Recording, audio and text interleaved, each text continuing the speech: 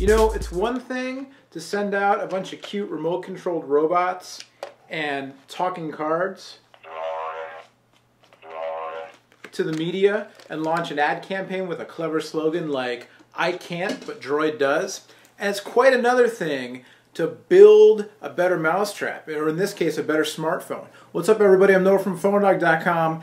And you know what? Verizon, you asked for it with those ad campaigns that say, I can't, but Droid does. So we're going to give it to you. It's a PhoneDog dogfight between, you know, honestly, the reigning champ of the smartphone market, the Apple iPhone 3GS. I'm not saying it's the best phone out there. I'm not saying it's not. I'm just saying it is right now at the top of the sales charts.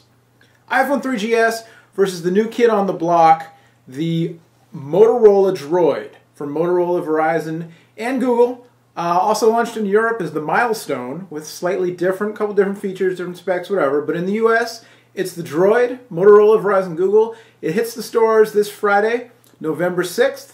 So, you know, a couple days ahead of time so you can help make your, uh, you know, whether it's buying choices or just rooting choices. We're going to give it to you dogfight style. Droid, iPhone, and uh, you know what?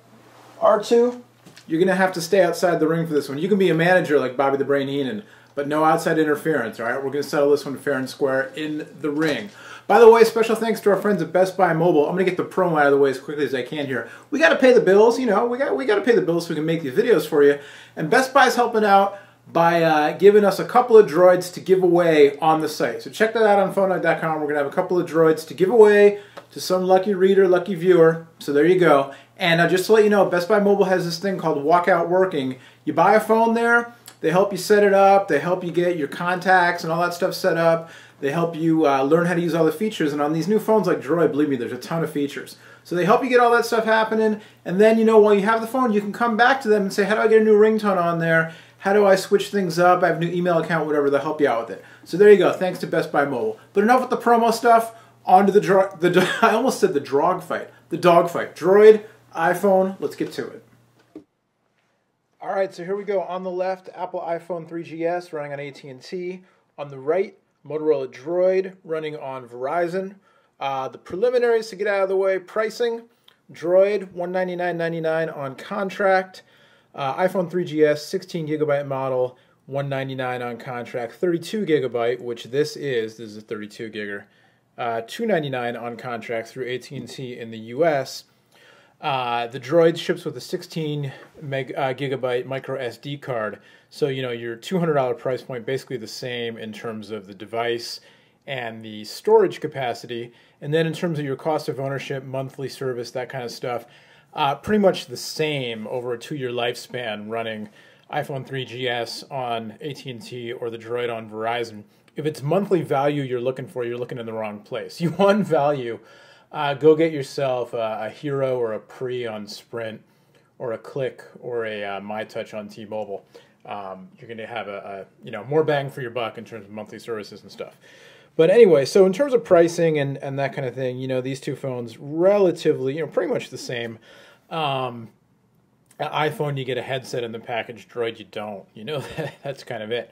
Uh, in terms of voice quality, uh, roughly the same. They're both good not the best voice quality I've ever heard, but both uh, good when you have a good network signal, and that's very dependent on where you are and you know uh, what the coverage is like where you are. Verizon's running ad campaigns. Um, you know, there's a map for that, uh, poking fun at AT&T's 3G coverage or lack thereof.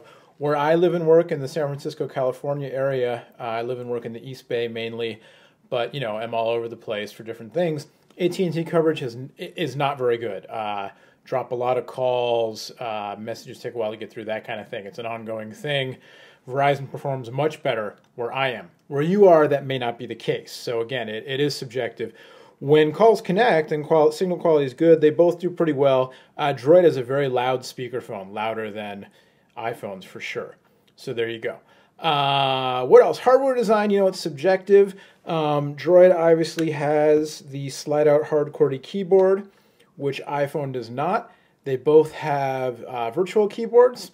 We'll get to that a little more later on. They both have capacitive touchscreens. Droids is physically larger and has a higher resolution.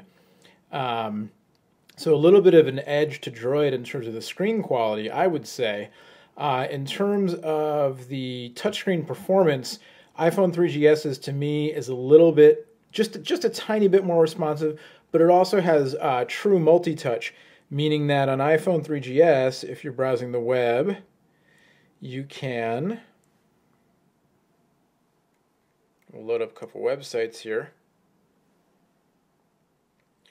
Uh, on iPhone 3GS, you can do true, uh, you know, multi-touch throughout the phone. So in email, viewing photos, uh, web browsing, you know, you can do pinch and zoom and double tap to zoom and all that kind of stuff. Um, on Droid, you can now do double tap to zoom with Android 2.0, which is great in the web browser. I mean, you can double tap to zoom in and out, but you can't do pinch to zoom. On iPhone, you can. That's one of the hallmarks of iPhone.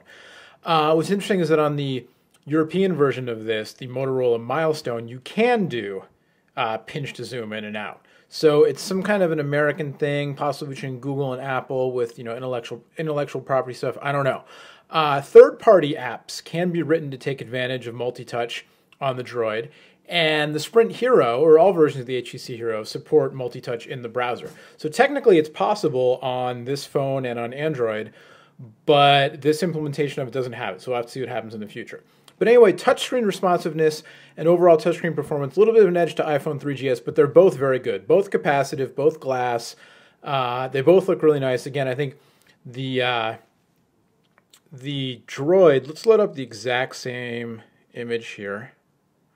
This image of the HTC uh, Touch HD 2, which is running on PhoneDog today. Do the multi-touch, but you can get the plus minus zoom system. So we'll zoom way in. And yeah, this image gets pixelated uh, because of the, the density of the image itself. But again, they both look great. So there you go. Uh, moving on, we did mention, you know, on the hardware also, um, the design of the phone itself, the iPhone is a little more rounded. The Droid is a little more angular. The Droid is a heavier device. Uh, overall, size-wise, they're fairly similar in terms of footprint, but the Droid is noticeably heavier when you pick it up. Uh, of course, the Droid has this second layer with you know the sliding mechanism and the keyboard. A little bit of the sliding mechanism doesn't really have a spring hinge, so it's it's pretty heavy to slide open and shut. I don't really mind. Some people I know do mind. Uh, there is wobble in the slider when it's shut and you play with it, but in terms of just using the phone, I didn't notice any wobble. I didn't really notice it until somebody asked me about it, and then I went like this, and I was like, oh yeah, it does wobble when it's shut. But you know, in using it for a week now, I haven't had any issues with it. So I don't think it's really a problem unless you look for it. That said, uh, long term, over you know the lifespan of the device, uh, maybe you know a little bit of cause for concern. Uh, whereas with the iPhone, you know, it's just it's just one layer, just a candy bar. So there's no slider mechanism to worry about. Uh, on the iPhone, you've got your rocker switch, your hardware mute switch. On the top, you've got a headphone, three and a half millimeter headphone jack, a lock key, SIM card tray on the top. On the bottom, you've got the uh, infamous Apple dock. On the back, 3.2 megapixel camera. Um, on the Droid, on one side, you've got your micro USB port. So one point there for the Droid for standard, you know, standard ports. If you forget your cable, or just easier to hook up to a computer, that kind of thing. On the other side, rocker switch, dedicated camera key, up on top, you've got your power lock switch and then your 3.5 millimeter headphone jack, nothing on the bottom. On the back, 5 megapixel camera with flash. So we'll talk about the cameras for a second. And um, you might be surprised by this, but I actually give the camera edge to the iPhone. Uh, even though the Droid has more megapixels and it has a dual LED flash, um, you will be able to capture some photos in very dark conditions with the Droid that you won't on the iPhone because of the flash. So that, so that is true. But camera performance, I give the edge to iPhone.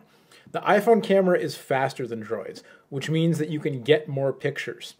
Um, I've been testing these things, and there was one point where I was trying to catch, you know, capture pictures of a baby. And if you ever tried to do that, if you ever, you know, hung out, if you have a kid or you hung out with a friend's kid, you try to take pictures.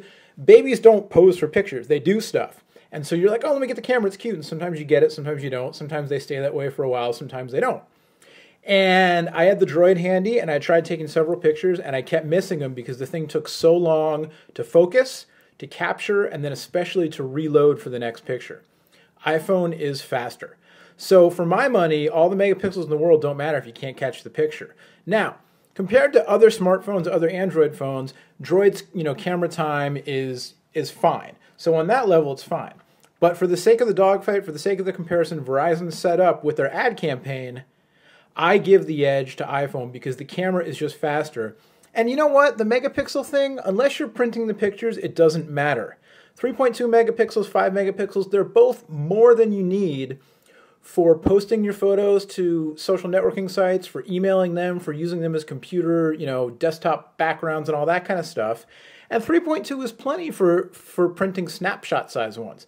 That said, when you get the picture right with Droid, it comes out pretty well and you have a little more detail than iPhone and it's a bigger picture so you can do more with it.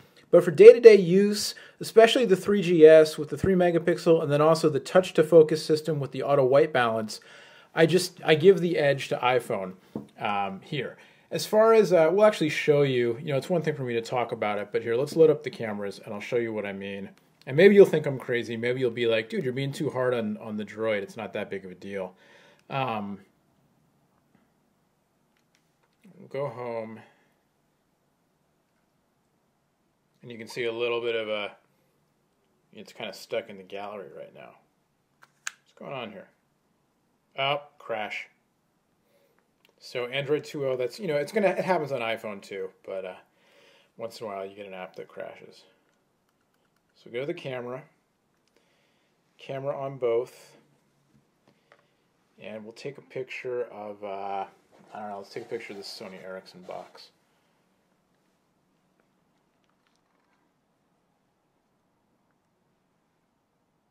And so at the same time,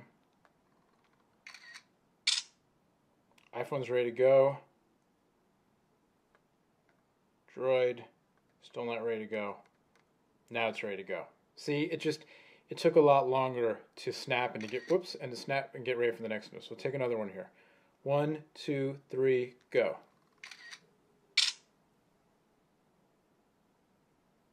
You can see Droid's not ready. It's not responding as I'm moving it. Now it is. So, you know, I again definitely the edge to iPhone in terms of being a camera that you can really use all the time, um, which isn't going to matter to some people. Uh, video capture, it's a different story. Uh, Droid performed much better on video capture than it did on still photo capture, and Droid's resolution for video capture a little bit higher, 720 by 480 as opposed to 640 by 480 for iPhone. So they both work, I think, very well for video capture as far as cell phones go. Maybe a slight edge to the Droid, but overall on the camera, uh, iPhone is the winner here for me.